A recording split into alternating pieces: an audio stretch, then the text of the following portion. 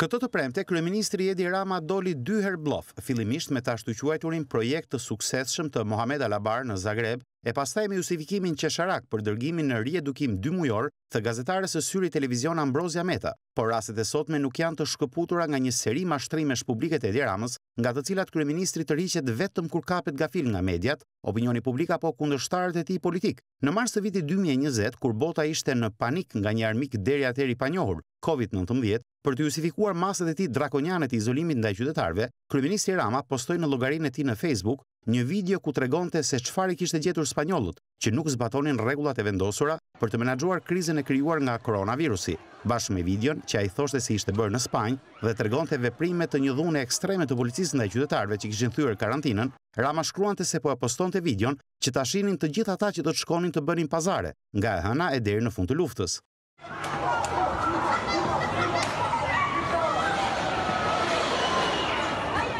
Gjithsesi rezultoi se video nuk ishte bërë në Spanjë, por në Algjeri dhe nuk kishte asnjë lidhje me koronavirusin, por ishte një protestë antiqeveritare. I kapur në flagrancë, kryeministri u justifikua menjëherë me anë të një tjetër reagimi në Facebook. Videon e postuar diku më parë, ku shkruhet se ka ndodhur në Spanjë, ma dërgoi një mik shqiptar nga Italia, i cili pa diskutim, ashtu e dinte dhe i dëshpëruar me ca pamje sot paradite në tregjet e Tiranës, më shkruante, Shikoje ç'bën policia në Spanjë. E postova jo pa qëllim pas mesazhit tim të sotëm, ku ju thashë hapur se nuk do të ketë më asnjë tolerancë nga forcat e rendit, dhe tani mora vesh që qenkan pamje nga Algjeria. Ndjesë sinqerisht. për pasaktësinë e paqëllimshme që paska frymëzuar edhe një deklaratë gjithë akuza e budallallëqe të Partisë Demokratike, rashë edhe unë njëherë viktimë e qytetarit dixhital.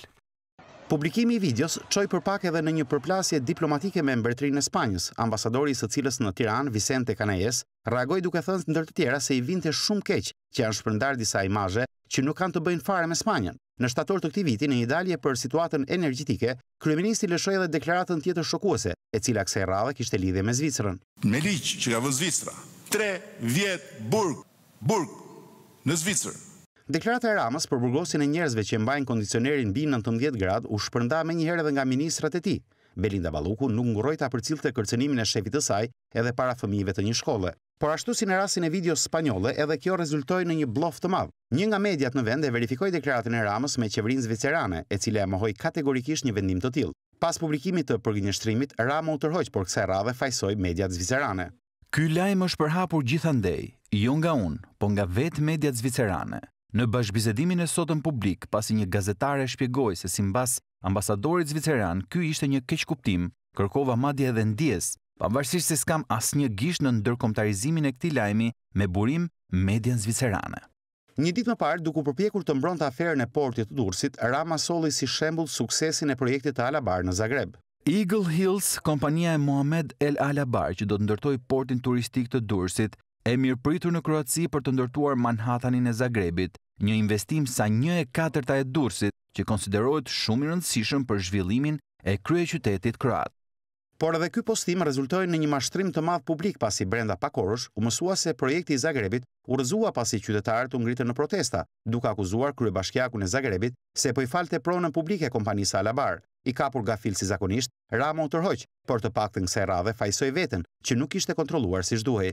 Postimi i djeshëm mbi Manhatanin e Zagrebit nuk reflekton të vërtetën e ecurisë së mëtejshme të projektit dhe kërkoj ndjesë për nxitimin. Një kontroll i thjeshtë do të mjaftonte për të mos gabuar, por kush s'është gënjeshtar, as bën sikur s'ka gjë as nuk justifikohet, por kërkon falje.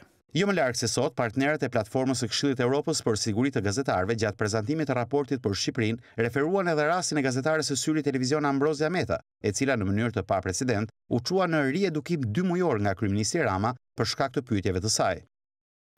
Ti e humbet sot në këtë moment të drejtën e përgjigjeve të mia për le të themi 60 ditët në vijim. Kalon në kalon në riedukim. Por edhe për këtë episod, kryeministri Rama kishte mashtruar përfaqësuesit e platformës. Dhe ai tha që e bën këtë me humor dhe jo me ndonjë qëllim të keq, mirëpo pasojat për gazetaren jashtëzakonisht të dëmshme. Rastet e sipërpërmendura dëshmojnë mënyrën e qeverisjes së Edi Ramës, një përzierje mes mashtrimit, lajthitjes dhe abuzimit.